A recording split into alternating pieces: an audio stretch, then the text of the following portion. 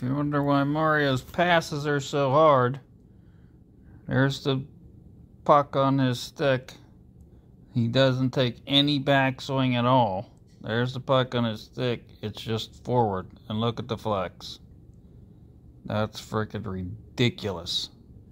That's more flex than most people get on a slap shot. And that's from no backswing at all. That's just all all upper body strength.